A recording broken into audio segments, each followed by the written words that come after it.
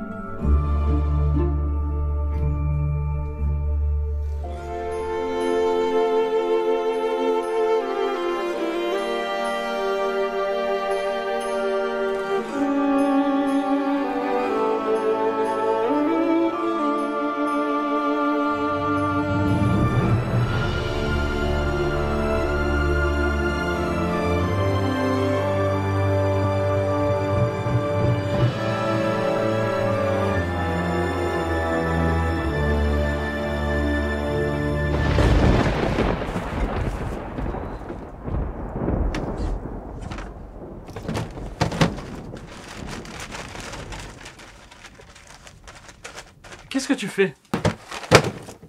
Ah Joël, je t'attendais.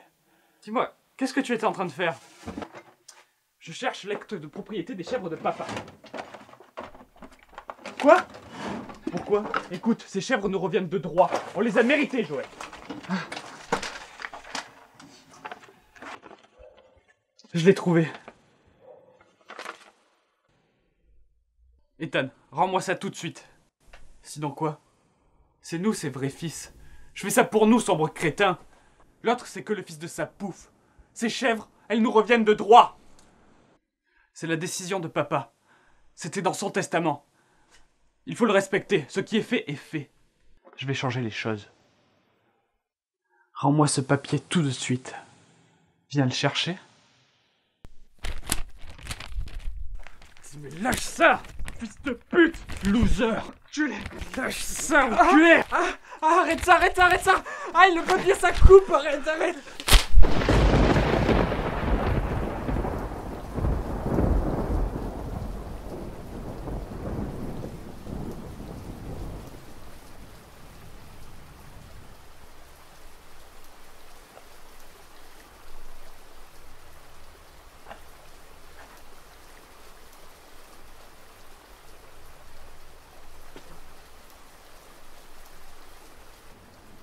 Merci d'être venu, messieurs.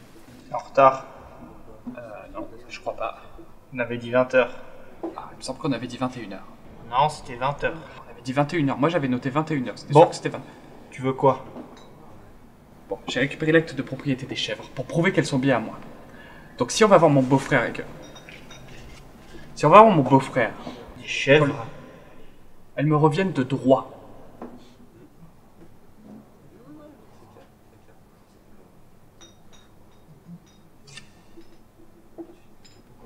Bon, qu'est-ce que t'attends de nous?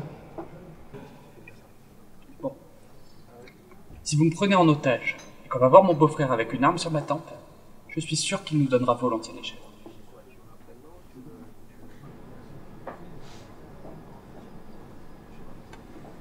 Je peux vous payer?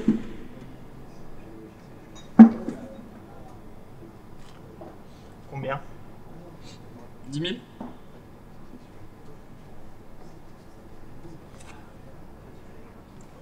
15 000 Des chèvres Valeur sentimentale. Bon, Dis-nous ton plan.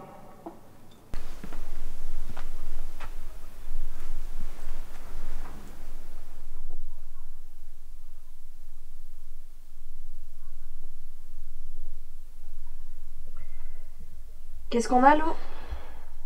La victime s'appelle Joël Lombard, 38 ans. Il a été retrouvé mort ce matin par la femme de ménage. Le légiste situe l'heure de la mort vers 20h hier soir. Et il affirme que l'arme du crime sera un bout de papier. Du papier? C'est lui? Oui, c'est lui. J'ai donné rendez-vous ici tout à l'heure. Mais vous êtes sûr que c'est lui? Bah oui, quand même. Enfin merde, je sais à quoi ressemble mon beau-frère. Ok. On y va.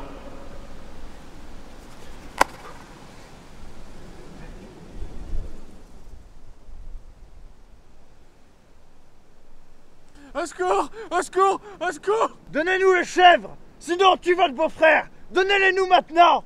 Elles me reviennent de droit. C'est mon père qui les a données. Je les mérite. Maintenant.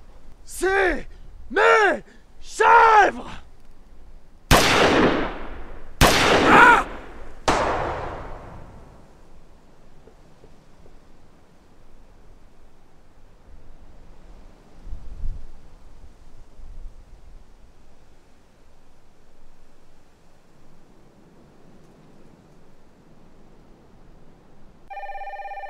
Écoutez-moi, chef Thompson, j'ai une théorie.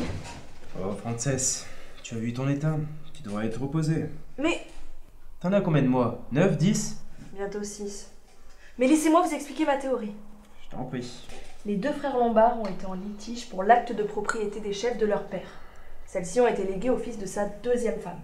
Je pense qu'Ethan a voulu récupérer l'acte de propriété des chèvres dans le cabanon de son père pour ensuite récupérer les chèvres auprès de son beau-frère. Lui et Joël se disputent. Le papier finit par égorger Joël. Ensuite, Ethan rencontre deux tueurs dans un bar, Peter et Steve Bellucci, qu'il a connus grâce à Chet, un employé dans la même boîte que lui. Il les engage pour menacer son beau-frère, récupérer les chèvres, et si son beau-frère tente un procès, il perd, car c'est Ethan qui possède l'acte de propriété. Tu me fais rire. C'était pas le but. Ça ne tient même pas debout. Mais chef Et où sont les preuves de ta soi-disante théorie Les empreintes d'Ethan partout dans le cabanon, les morceaux de peau de Joël sous ses ongles, le retrait de 15 000 dollars sur son compte en banque, la photo d'Ethan et des deux tueurs dans C'est un bar. circonstanciel. euh, N'importe quel juge peut réfuter ces preuves en deux minutes. Ton dossier n'est pas assez solide. Tu me déçois. Tu m'avais habitué à mieux. Et tout porte dans cette direction. Écoute, Frances, je suis flic depuis mes 22 ans. Alors quand je te dis de lâcher l'affaire, tu lâches l'affaire, ok?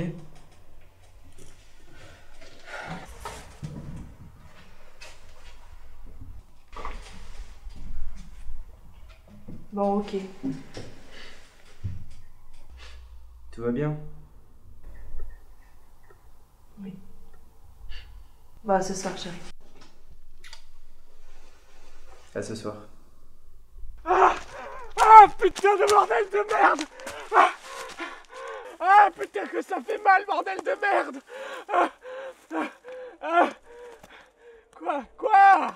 Mais quoi je comprends rien là quand tu fais ça je comprends pas Non je comprends pas ah, ah, Quoi Mais quoi Quoi Ah, ah, ah, ah, ah, ah, ah.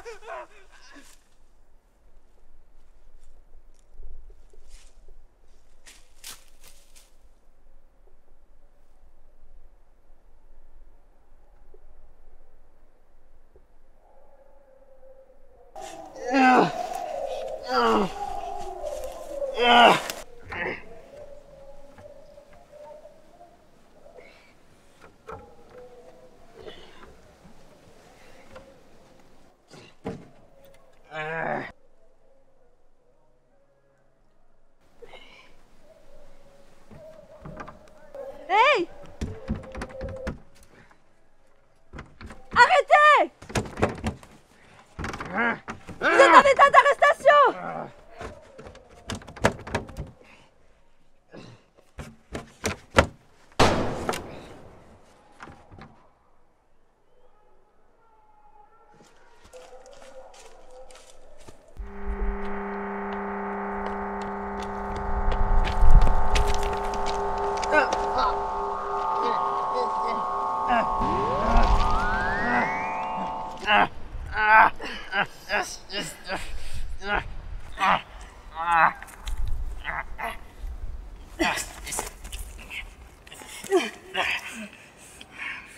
Je te tiens.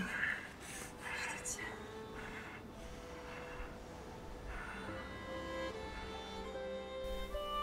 C'était bien qui finit bien.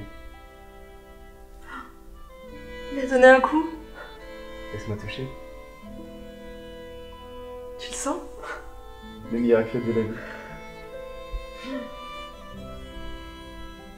Je t'aime. Je t'aime aussi.